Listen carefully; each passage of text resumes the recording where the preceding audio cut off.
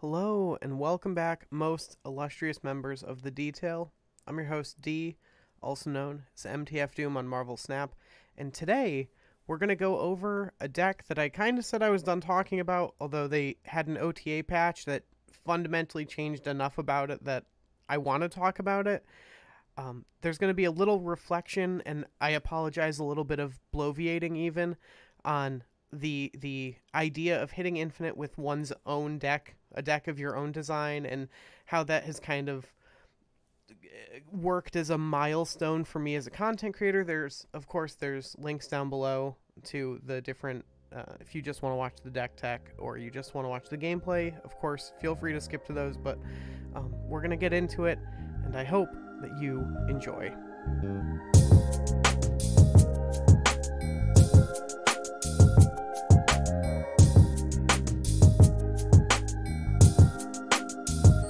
Course, as always, um, I appreciate anyone who watches. I appreciate anyone who likes, comments, subscribes. Any, any, anything, you know. I, I, I really do appreciate it. I love seeing the little number increment. I feel like I'm not supposed to acknowledge this, but I, I do prefer when my videos do well. I, I like when my videos do well. And I feel like you're not supposed to like say that like, "Oh, I just do it for the fun." I do do it for the fun, but I like knowing that other people are having fun doing like watching the videos that I find fun to make, right? Like I think that's reasonable, but I I, I don't know. I feel like I'm not supposed to say that. So um, there was an OTA patch today. Uh, by the time this comes out, it might have been yesterday. They buffed Forge, um, Crystal, and Shanna. Shanna. The only one we care about for what we're doing is Forge. They they buffed Forge, like more than I I mentioned Forge recently in a video about cards that needed buffs that like were close to being playable. I mentioned that Forge was a used to be a 2-1 that your next card got plus 2 power. They and my my thought was, well just make him a 2-2. like you know, like what you did with uh, Collector, right? Collector was a 2-1, now he's a 2-2. He sees way more play as a 2-2. They they did the better buff. They made Forge a 2-1 that gives your next card plus 3 power. and like I already hit infinite with this deck pre-buff. I think this deck based on the stats which I'm going to put on the screen right now, um based on the stats, this isn't the best deck you can be playing, but like having already hit infinite with it and and just having more power behind it, I I don't know, I think it's a really good deck. It's really fucking fun is the thing. So we're going to get into the deck. OTA improved. So if you watched Brews Day of this week, this was the this was one of the Daken decks. We've actually dropped Daken. We found that while Daken had the ability to get really really big, um, it it's not something we need. like, like we don't need one giant threat. We have a couple different threats. We have a couple interesting play patterns and we didn't really find we needed Daken. So by dropping him, we were also able to drop Killmonger. While we could still play Killmonger because we have no one costs and it's just a tech card, we get our choice of different techs. We've opted for Armor, and we'll get to that in a second. Armor seems like a weird one, I understand. And Cosmo. And Co Cosmo's quite good, and I think everyone kind of understands why Cosmo's here. But um, Armor could be Luke Cage, could be Shang, maybe your own Shang, and it could be. Um, some people are playing Patriot. I think that's I think that's neat. Could be uh, maybe Enchantress, but um, the reason we went with armor is because while most of our most of our game plan is not soft to uh, to being Shanged itself, it one works as a tech card against everyone trying to blow up their own stuff. Um, I think in the most recent meta report, both Venom and Carnage made it into the top 10 cards uh, being played right now. So armor is like tech for that.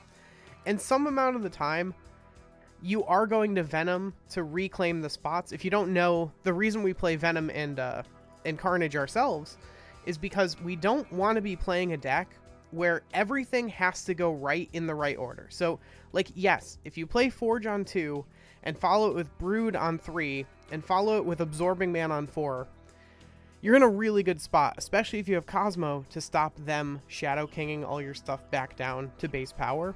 But like, what about all the games where that doesn't happen? Well, you know, if you just play a Sinister on 2, he is himself a 2-4, with the functional downside being that he takes up two spots, so, right? So he's slightly overstated. Same with Mysterio, right? Same with Brood, right? Brood is a 3-6, but it takes up three spots. So what you can do is you can use Carnage or or Venom to narrow down. So you okay, you play a Brood. It's just a vanilla Brood. It's a 3-6. But now three of your spots are taken up. Well, if you Carnage, you now have eight power there, but you've only taken up one spot. So it lets you reclaim your spots without actually losing any of your power. Now, it gets a little more wonky if you have hit some, like, you know, you played out Okoye and now your Sinisters are 3 threes. Well, Carnage gets a little more awkward. Uh, Venom stays the same, right? Venom's just good no matter what.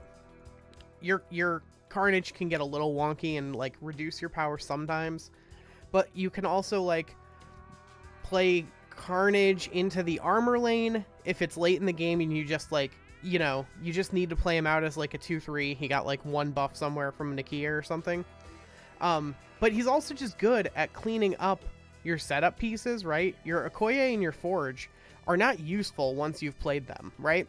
And so Carnage can can be used to like reclaim those spots. Um, so the final thing is Jeff. Uh, I think Jeff is pretty important to this deck. I mentioned this in the uh, I did a text post about this deck kind of saying I didn't really intend to do another video, but I, I honestly, I kind of think the Forge change and the fact that we're playing tech instead of more win cons warrants me making this video, and I, I wanted to make it anyway for the thing I mentioned in the intro, um, which is that while, like I said in the intro, I don't want to necessarily be like gauging my success by how many views I'm getting because like I want to gauge my success based on how much fun I have doing this, which is like a lot of fun. But in in, in the same way, in a very like similar fashion, I don't want to gauge my success based on how often I hit infinite or what with what decks I hit infinite with. But I will say it feels very different having played, you know, I played bounce to infinite twice. I played the big hands deck to infinite, but those none of those were of my design it feels like a landmark to have piloted a deck of strictly my own design. I'm not saying no one else has ever played most of these cards together. I'm saying it's not something that I even picked up from another content creator. It's not something that like has been on the meta report consistently and I've just tweaked it. This is something that like I don't I don't think people are playing the Carnage Venom clone deck. I don't. Maybe they are, but I don't see it. So it it felt like a landmark to me, even if it's kind of an unimportant one in a lot of ways. And I just, it's been a lot of fun. I really appreciate anyone who's stuck with me all this time. I, I hope it's been really fun for you. Um, we got some more cool stuff coming, and we're gonna jump into some gameplay. And I will see you at the outro. I hope you enjoy. All right. I mean, throne room if we draw Venom, the fact that we have armor for Throne Room is pretty good. Wakanda, this can all be a little awkward, but I I have some faith. We're probably just skipping this as well. Let's armor, let's armor the final lane. The other thing I, I think I forgot to mention in the intro is that while armor protects our stuff, it also can just make the opponent's plans really awkward. If they're a destroy deck, they're suddenly like, they're they're not thrilled about the prospect of not being able to destroy shit.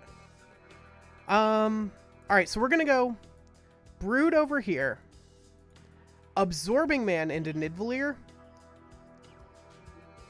Ooh, bitch. Okay. Go off. Absorbing Man into Nid.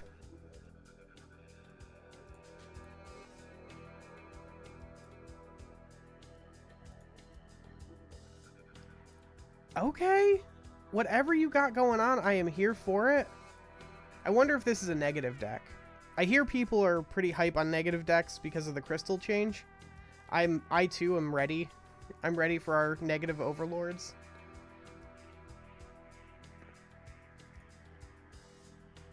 There's negative.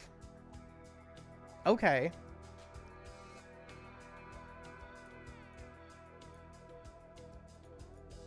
I think Venom actually retains all the Broodling buffs. Like, he's going to be 12 plus 6. I'm pretty sure. No. Oh, Throne Room goes off first. Okay. In Nidavellir, he retains the buffs, which is, like, the weird part.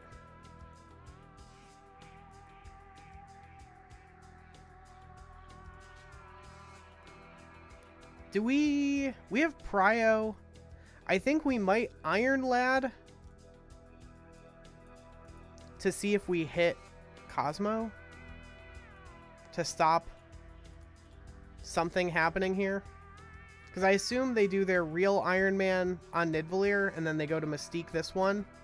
We hit Cosmo. Alright, so Bass does nothing. There's Iron Man. They can no longer Mystique Limbo. We can actually make it so they can't uh, Mystique anywhere. And then... Like that?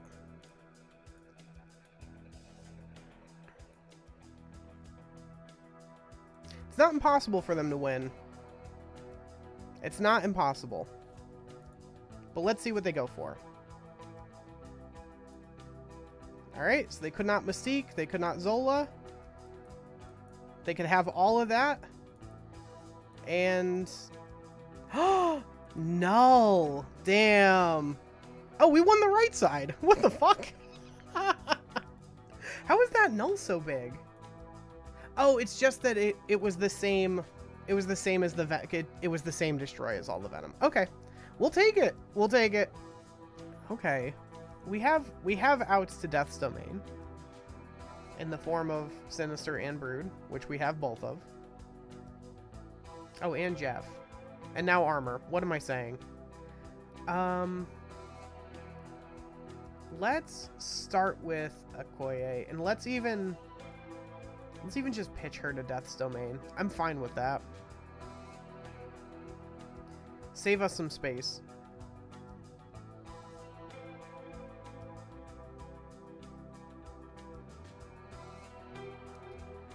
Huh.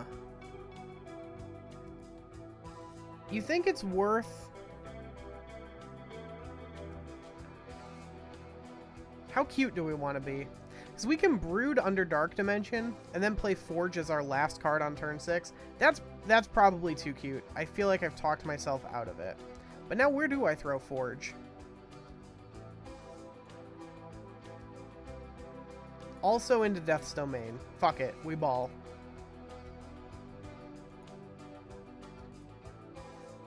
Then we'll brood over here.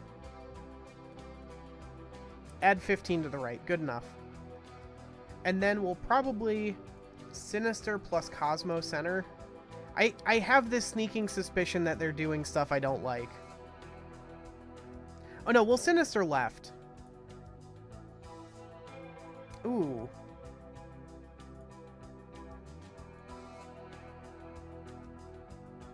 Now that'll be a brood copy as long as... As long as all we do is play Cosmo Center? Is that enough? That might even be enough. Yeah, I think we're good. I'm comfortable with this. Like, we're adding 22 to the center. Can they sneak something into Death's Domain? Because otherwise that's going to be a tie. And I think we'll win tiebreakers off this. I think. Yeah, yeah, yeah. Okay, we're set. Because they're going to try to add a bunch of cards to our deck. And we're going to say, no thank you. No, I'd, I'd prefer you didn't do that, actually. No, I'm all set. Don't Shang me either, bro. Hell yeah. Alright. We had nothing to do on one anyway. See if I give a heck or shit. I hope they play something. I hope more than anything that they can't resist. They maybe they have a Killmonger in hand, and they're like, "Oh, I'll just I'll I'll play something now." Oh, oh my shid and folk.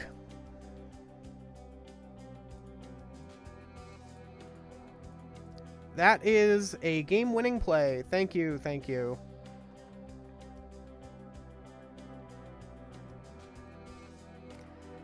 This this may it. Oh my god. Oh my god. Tink. Fantastic. Absolutely fucking wunderbar. I tell ye. I mean, it doesn't even matter anymore. We could do we could do whatever the fuck we want. Sure. Totally fine.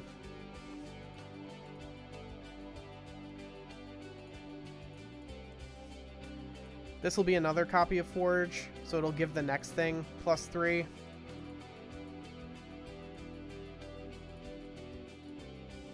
Fine. It's fine. Um...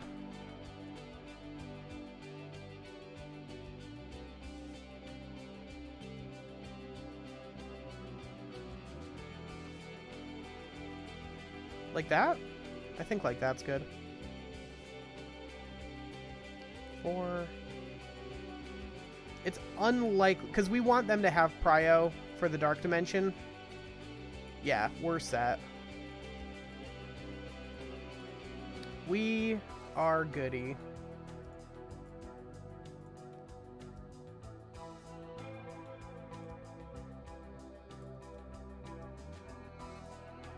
Yeah, let's just do that. Oh, and I guess we can put Deadpool here. Because it'll come up after Killmonger. Okay. Oh, I was overthinking it. was I ever overthinking it?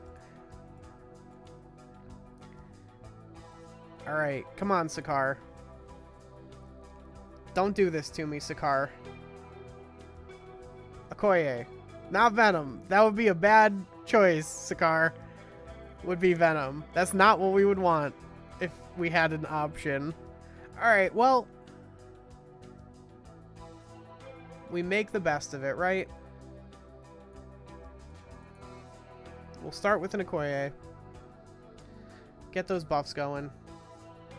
Alright, I think they think that Venom is more important to my game plan than it is. Which is good for us, because Venom's not... Venom's not like a primary tool in our arsenal, but they, they think that it is a primary tool. Very, very foolish of them to have any thoughts at all. Ooh. Um... I'm down to Forge. And then next turn we'll Sinister the right. Plus Carnage the left. Because these are all like, you know, not that impactful. So we Sinister there. We Carnage there. We're adding 12. That probably wins us. That that probably wins us Asgard on its own. I like this set of plays. I like this set of plays quite a lot.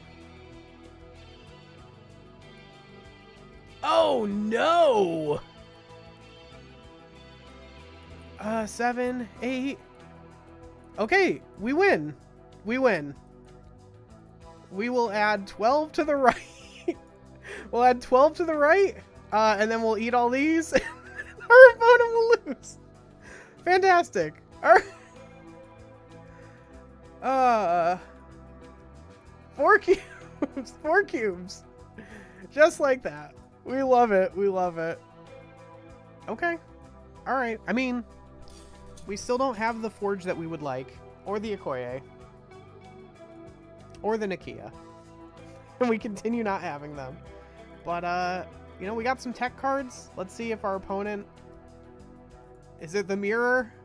Is it the goddamn mirror? but our opponent just had a better start.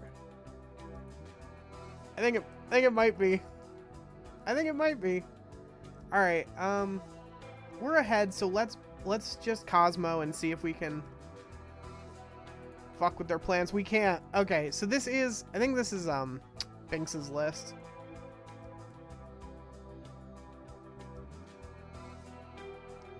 So, let's iron, iron lad.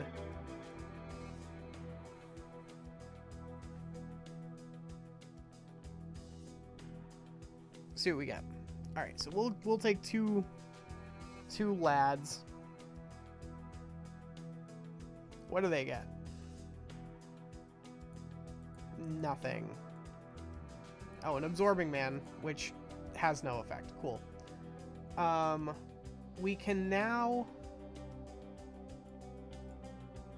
absorbing man. Now let's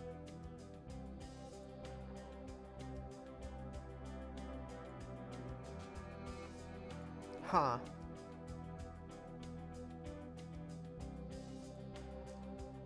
Let's nick. Okay, okay. We're gonna Nakia and we're gonna armor. Right? And then, as silly as this sounds, we're going to Sinister into the middle lane, and then Absorbing Man into the right lane.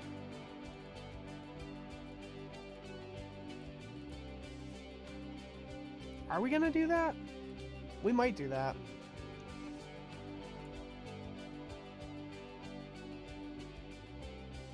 Can I add three to the left without it being a very bad idea? so we need to play something with six over there.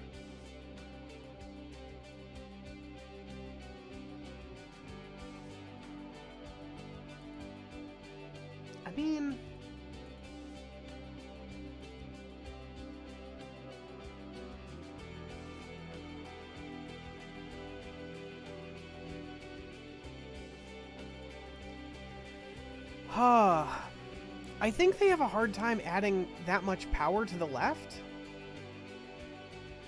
Because they can't like their patron I think this is enough. I kind of think this is enough.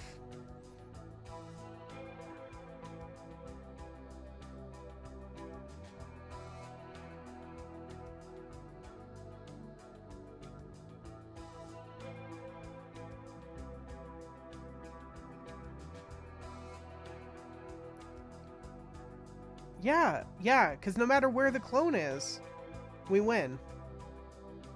Oh my god. We got him. We got him! Hell yeah. Mojo World, in general, probably pretty good for us. We can be pretty sneaky about it, you know?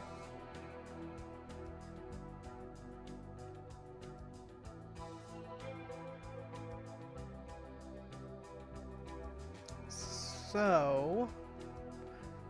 I think the option to be sneaky has left the building. Because we're probably priced into just going Brood and then Absorbing Man.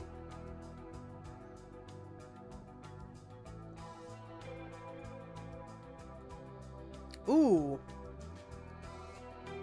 That is pretty good for us, I think. Eh. Do I wanna... Yeah, I'm fine with that.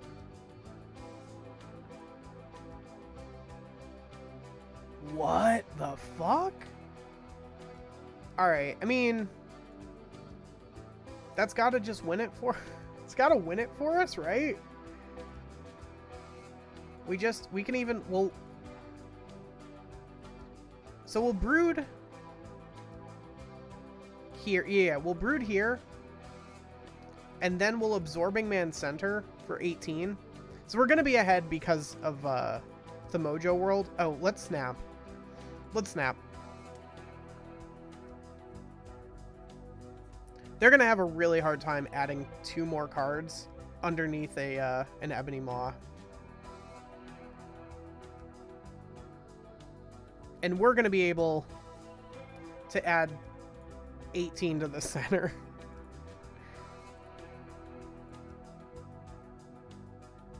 Oh. So there's a world. Is it this world? Where we actually Cosmo the center instead? Because the out that they have would be Shuri into, like, Red Skull. But they don't have it. There's Red Skull. Oh, yeah, yeah. So, like, they can add 14 to the center off of, uh, what's his name? Tasky Boy. One Tasky Boy. We can also just have them say, no, you can add zero to the center and you can fucking like it. Uh, and then we can armor over there just in case of anything else going hilariously wrong.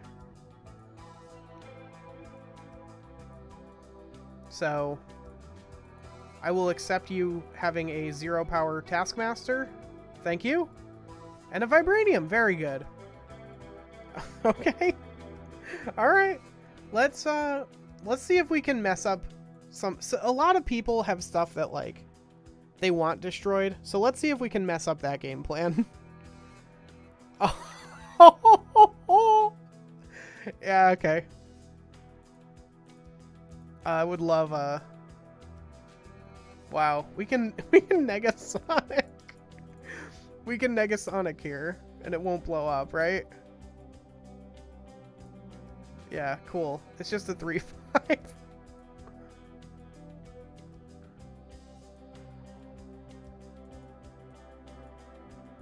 3-5. Alright, sweet.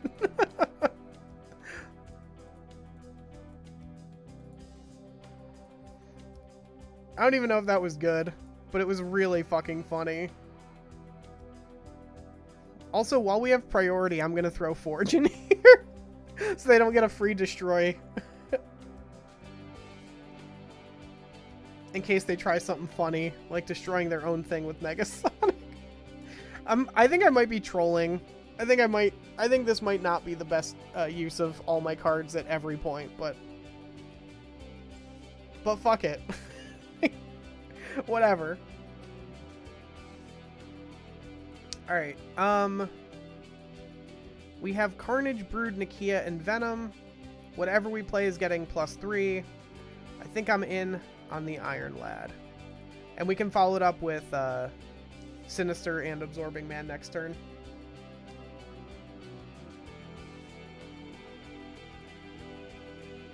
Alright. Oh, man. So that is... Four total destroys. Oh, what did I hit? Nakia. Okay. Nakia's a pretty good one. So... We add 6 there and 12 there. Is that enough? So we're ahead by 3 in the center with this play. We're ahead by like 8 on the right, and we're ahead by 3 on the left. Yeah. Alright, so there's the death. That was the big one. They only played 2 into the center. So we, we win center by 1. And we win right by, like, what, 4? Something like that? 6. Okay. Alright. The armor did it. The armor did it for us. And there's no getting around it. I almost threw the game trolling playing that Negasonic. but I didn't, so it's fine. Thank you so much. Everyone who supports, everyone who continues to support, everyone who made it this far and probably liked and maybe even left a comment on the video. A special thank you to all of my Patreons and uh, just people who've donated time, money, or effort, sometimes all three. They are as follows The Tiny Ruby, A Frog in a Tent, Clips, Crayon Eater, Cole D, Polyhaze, Sartorius, Demisi, KD, Distant Nelson, and Matt Backey. This channel wouldn't be possible without all of you. I appreciate you so much. I hope that that comes through. Um, I hope that you all have a great day, and I will see you all very soon.